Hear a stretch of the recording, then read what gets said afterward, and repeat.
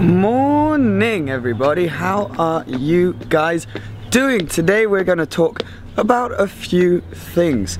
First of all, we're going to talk about these daily vlogs because I've been doing these daily vlogs for a little while now and I've got mixed feelings, let's say. I love doing this daily. This camera's quite heavy, so I'm gonna hold it like this.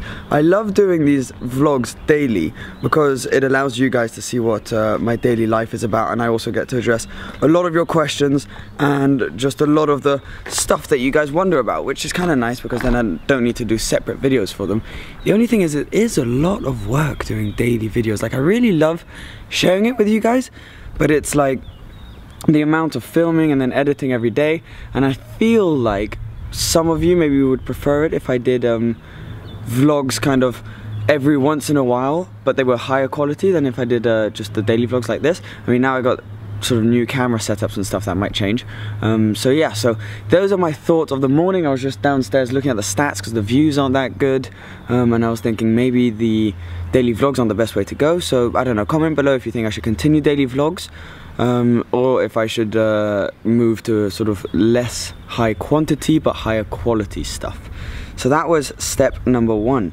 Uh, the, the, thing that I want to talk about. Other thing I want to talk about is the clothing line and watches. I've been getting some designs from you guys for t-shirts and stuff like that and I've loved getting that sort of stuff and we're moving along quite nicely I reckon probably next week sometime. Um, so today it's Saturday. Next week there'll probably be a release about the watches I expect and then the clothing line will come later on. Later on.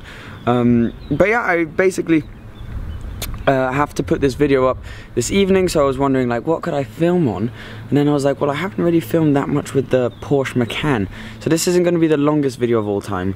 Uh, I will be filming a more exciting video tonight so you'll be able to see that tomorrow. But it is gorgeous weather um, also by the way I know there are going to be a bunch of comments about the bandana uh, frankly, I don't care. I quite like the way it looks.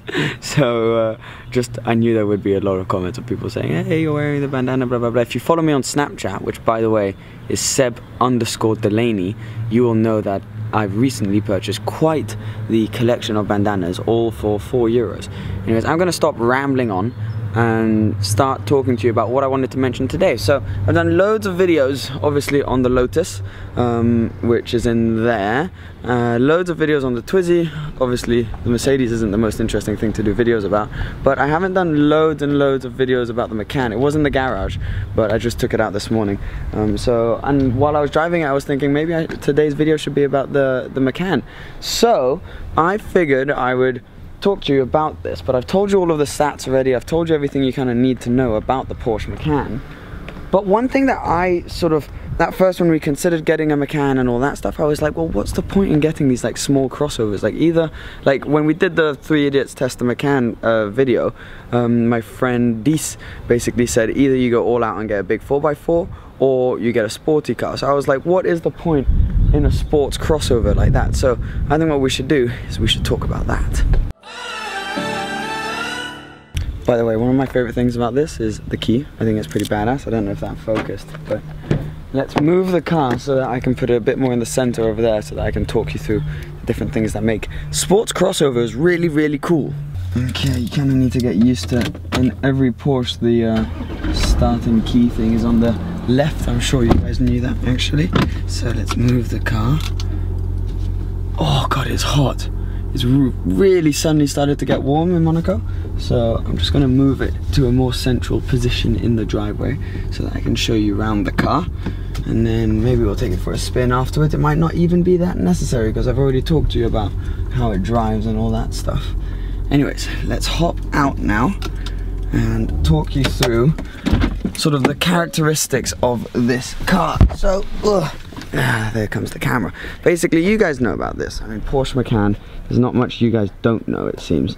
So you know that it is the diesel V6 I think it's 306 horsepower or 258 one or the other. I should really know. I should really know this. But uh, V6 you can get petrol and then you can get the Macan Turbo which is obviously turbocharged and has over 400 horsepower I think. But this one actually kind of looks like a turbo because it's got those turbo rims. So those are probably my favorite option with the car. Sorry if it's a bit shaky, I'm still getting used to these cameras. And yeah, this one's obviously in blue, but that's not what we're here to talk about. We are here to talk about sports cross sport crossovers as a general category. Like, does it make sense to have a car that's still big, that's still high-ish, um, that's got four-wheel drive, but is supposedly still kind of a bit of a sports car? Well, to be honest, before we had this, I would have told you that it's kind of the most pointless category of car because if you're getting a 4x4, get a 4x4 that can actually go everywhere and isn't low and all that stuff. And if you're gonna get a sports car, just get a bloody sports car. But this is such a good compromise of both of those things. So first of all, I think it looks really cool.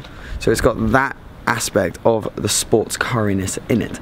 Um, and then it's kind of one of those cars will just do anything.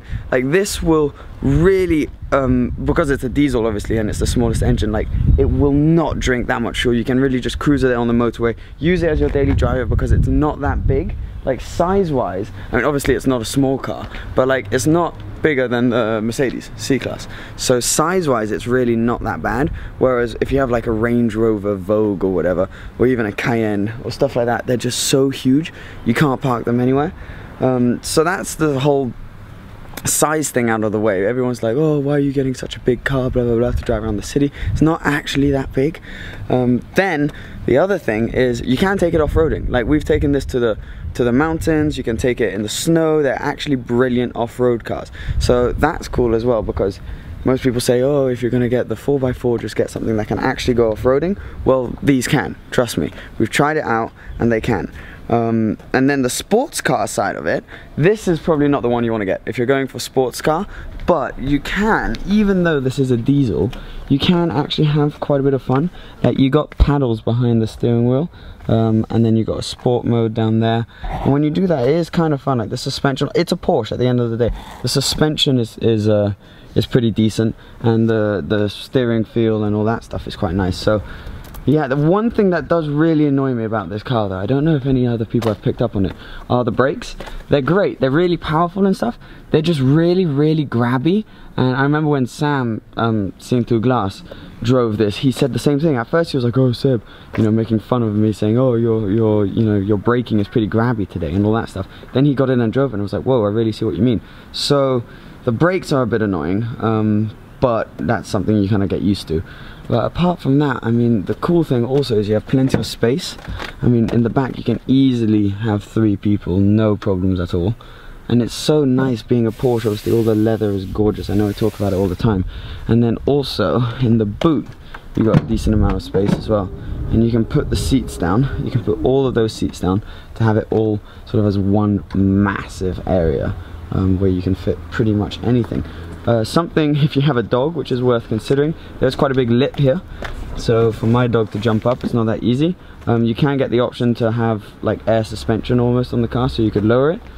Yeah. You guys have already seen me driving this car and stuff, so I'm not really going to take it out, I don't think, in the end. Um, because there's not much point. I told you about all of the driving characteristics of this car. I just thought I would sort of give you a tour and show you everything that makes this car actually quite cool and quite useful in every single possible way. We have the standard speakers in this car, and they're actually really good. You can get like, uh, you can get Bose, and then one level over that, I think you can get Harman and Kardon which probably is incredible. This car already has 9,098 kilometers and we've had it since early February I think it was. Um, so yeah, I love the steering wheel on this car. It's one of my favorite things. I think it's a really nice shape and it's also just such nice materials. But yeah, that's pretty much it for today, I think. I was going to take it out for a spin, but I'm not sure that there is much point to be perfectly honest. And I needed to get a video out for you guys and I thought why not talk you through a bit more of the stuff with the Macan? So that's the Macan for you. I'm going to be out filming probably with a Bentley Bentayga or something like that later with George who you saw with the 507 um, Milltek Mercedes, but mostly let's just have a chat. Like I'm to be answering a bunch of the comments on this video. So comment down below if you think I should continue the daily vlogs. Um, comment down below also if you follow me on Snapchat because you'll see a bunch of stuff there. And yeah, just anyways, let's have a conversation in the comments below. And thanks for watching as per usual. And I'll see you guys very, very soon. If you aren't already, please remember to subscribe. Bye. What the hell? MC12. Hold this. Pretty crazy. crazy. Hey, bud. Hey. So we are heading now. We didn't really know what to do, so we're basically heading to a beach, even though it is really bad weather. Um, but yeah, beach time. We're going to a little like unknown beach.